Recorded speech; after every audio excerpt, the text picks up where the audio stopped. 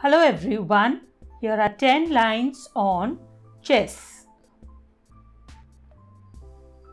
My favorite indoor game is chess.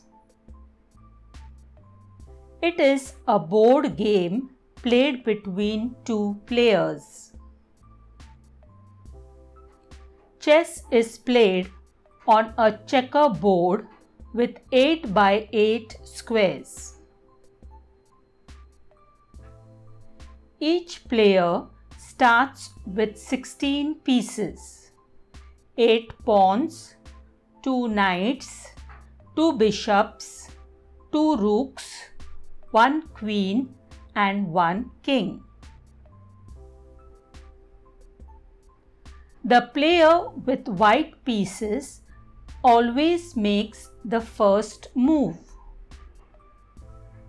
The goal of the game is for each player to try and checkmate the king of the opponent.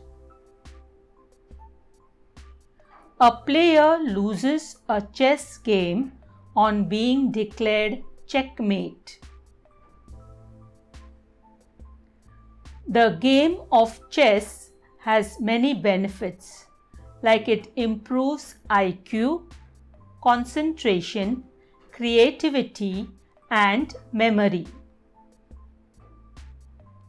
Chess is popular and is often played in competitions called chess tournaments. It is enjoyed in many countries and it is a national hobby in India. Thank you.